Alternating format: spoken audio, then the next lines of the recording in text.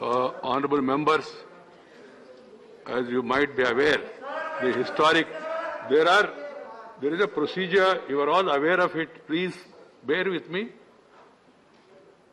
Honorable members, as you might be aware, the historic Rudreswara temple, popularly known as Ramappa temple, situated near Warangal in Telangana state, has been accorded coveted World Heritage status by the UNESCO.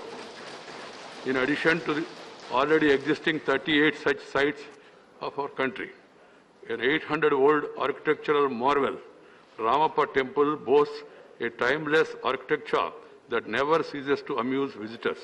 Its rich and intricate carvings stand testimony to the expert workmanship of the Kakatiya sculptors who took an astounding 40 years to build the temple. Recognition of Ramappa temple as a World Heritage Site is indeed matter of great pride for our nation.